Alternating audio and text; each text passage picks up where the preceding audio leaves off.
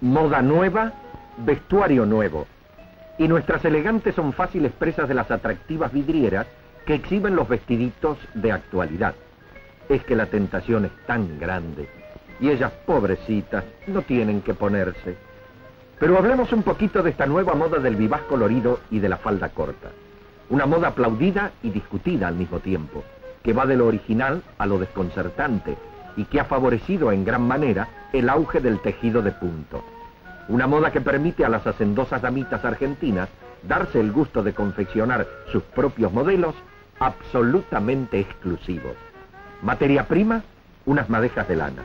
Ingredientes, fantasía, buen gusto y ganas de trabajar.